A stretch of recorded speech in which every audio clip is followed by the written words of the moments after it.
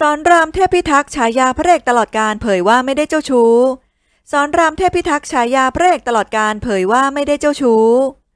ชื่อของสอนรามเทพพิทักษ์นั้น เมื่อกล่าวออกมาแล้วแน่นอนว่า หลายๆ คนก็ต้องนึกถึงคำว่าพระเอกตลอดการของประเทศไทยกันอย่างแน่นอน แต่บอกเลยว่าเรื่องราวในชีวิตของเขานั้น มีความน่าสนใจไม่แพ้ผลงานด้านบันเทิงเลยทีเดียว โดยหนุ่มสอนรามย้อนเล่าตั้งแต่ความรักแรกสมัยมัธยม แฟนคนแรกคนนอกวงการ เรียนอยู่เตรียมอุดม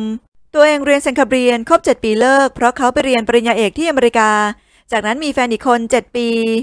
คนนั้นเป็นแอร์เขาไปบิน 7 ปีเลิก จากนั้นมีคนเขามีตำแหน่งมีมง 7 ปีก็เลิกอีก จนกระทั่งมามีครอบครัวกับแม่น้องวีจิผมไม่ได้เจ้าชู้ คนชอบคิดว่าผมเป็นแฟนกับกบสุวรรณนหรือเปล่า เปล่าเลย กบเป็นน้องรักเราเลย ถามว่าชอบผู้หญิงแบบไหน สอนรามตอบว่า พี่คิดบ่อยมาก ถ้าไม่ใช่เขาจะเป็นวีจิไหม ถ้าเป็นคนอื่นแล้ววีจิมา ยังไงก็ต้องเป็นวีจิเพราะผมรักวีจิมาก ใครทำหน้าที่ทำอะไรให้วีจิก็ทำไป เพราะทั้งชีวิตของวีจิผมมีสิทธิ์ แม่วีจิเขาก็มีหน้าที่มาเจอมากินข้าวเท่านั้นเอง ถึงแม้ว่าเวลาจะผ่านไปแค่ไหนผู้ชายคนนี้ หนุ่มสอนรามก็หล่อไม่เปลี่ยนเลย